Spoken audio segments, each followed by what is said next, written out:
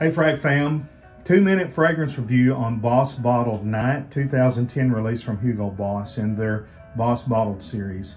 I don't get the DNA of the original, that apple pie, and I don't care when the uh, flanker has no, none of the original DNA. I'm like, just make it a one-off fragrance. But anyways, um, this is uh, categorized as a woody aromatic. Top notes are lavender and birch. You can definitely smell both of those in the top. The violet in the middle also comes through on the opening.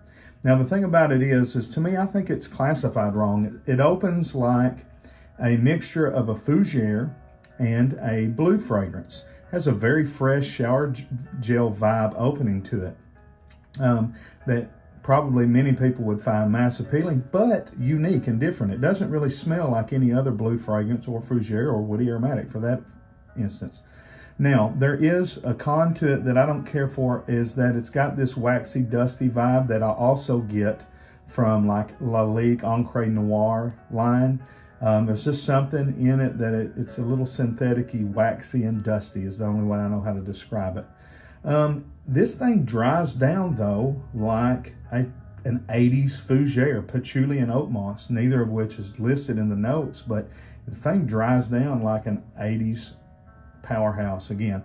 Um, performance wise, it's average. You know, it's it's gonna open up average, but projection wise, the thing is a beast. I could smell it 12 hours uh, as a skin scent, and I'm not talking about faint. I'm talking about still strong after 12 hours. So um, you may like this fragrance. Uh, I, have got samples. You can get one.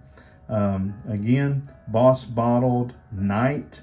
I would like to have had a little amber, a little vanilla in the base to round it out, widen it out, but didn't get it. Anyways, it's a uh, an average fragrance. I would give it a maybe a 7 out of 10. Uh, check us out down the road. Like and subscribe. Frag on, Frag Fam. God bless. We'll see you.